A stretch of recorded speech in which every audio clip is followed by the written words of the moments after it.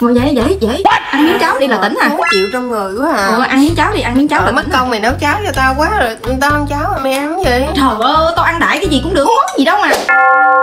Gì vậy? Ăn đi tao cũng tranh thủ tao ăn nè. Ừ. tranh thủ ăn đi. Ăn đi để cháu nó nguội là nó hết ngon á. Ừ. ăn đi. Tao ăn xong rồi mày ăn xong rồi tao dọn chén đũa luôn. Oh no. bữa nay tao rửa chén cho. tao thèm quá tao thèm quá. Thèm cái gì? Tao muốn uống trà sữa. Trời ơi mày đang bệnh không uống trà sữa được đâu. Ê hay là để tao gọt cho mày miếng trái cây ăn nha. Ừ, ừ. nè trái cây nè. Ủa gì vậy? Trời ơi sao mà không bệnh mà không chịu mang vớ vô? Ờ cái mùa gì mùa hè mà mày bắt tao mang nhớ tao không cần biết mày đang bệnh là phải mang vớ vô cho tao. Xong rồi nè. Cái gì vậy bà nội